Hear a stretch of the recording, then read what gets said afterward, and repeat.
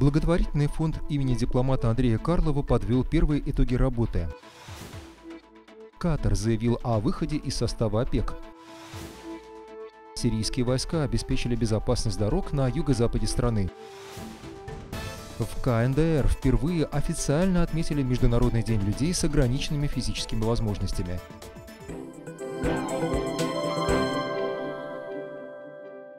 Эти ребята из города Клинцы Брянской области впервые побывали на море в этом году.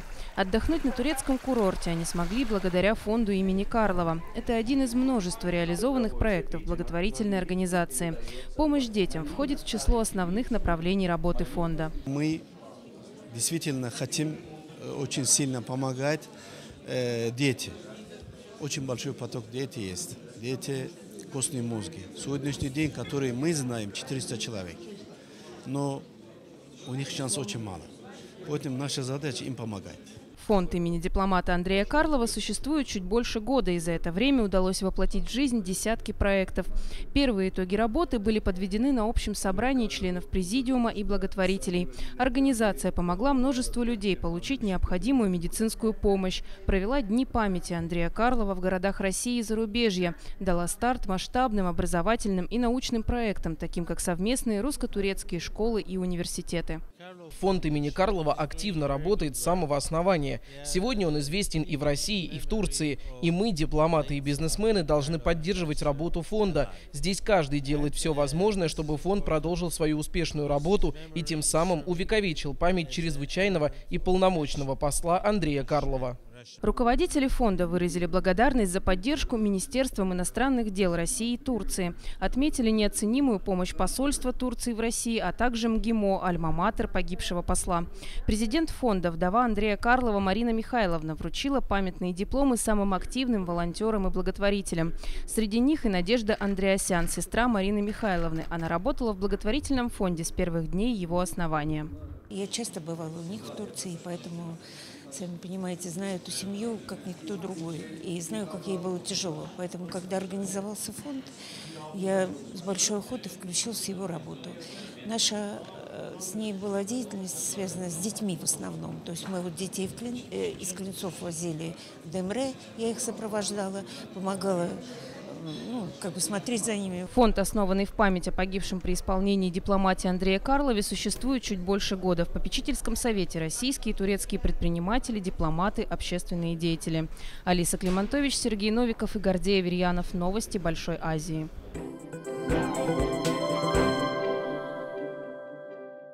Катар принял решение заморозить с 1 января следующего года свое членство в Организации стран-экспортеров нефти.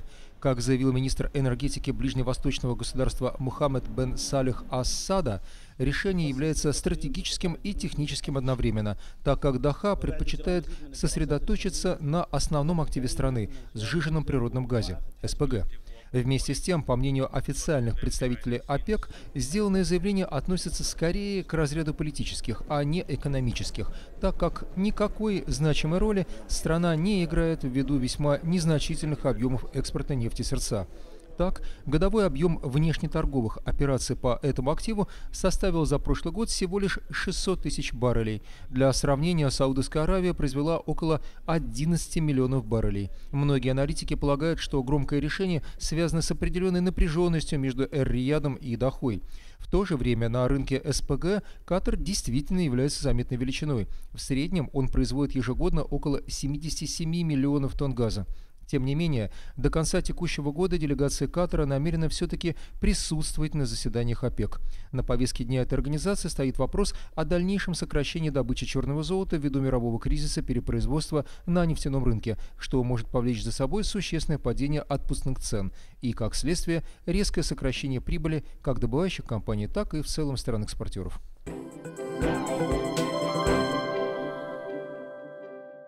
После упорных и продолжительных боев вооруженные силы Сирии овладели плацдармом Тулул-Аль-Сафа, который ожесточенно обороняла запрещенная в России террористическая группировка ИГИЛ. Взятие этого труднодоступного анклава фактически знаменовало возвращение к мирной жизни южного региона страны.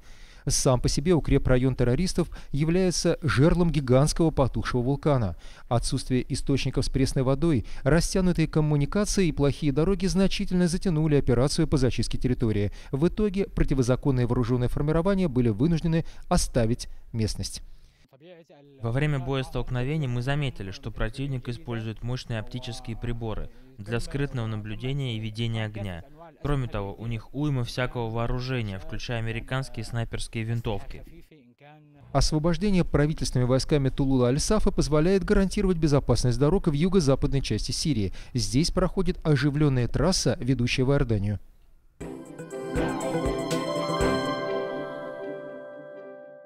В КНДР торжественно отметили Международный день людей с ограниченными физическими возможностями. Мероприятие состоялось в Пхеньяне, в Дворце пионеров и школьников на проспекте Кванбоктера в северной части района Мангёнде.